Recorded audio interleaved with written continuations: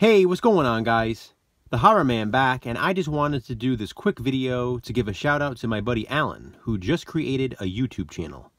You can find him under the name AbnormAlan, which I think is really cool. I will link his channel in the description box below. Please be sure to subscribe. As of right now, I am his only subscriber because he literally just made the channel. But trust me, you'll enjoy his content. He's a huge slasher fan like myself, and he has some great content coming.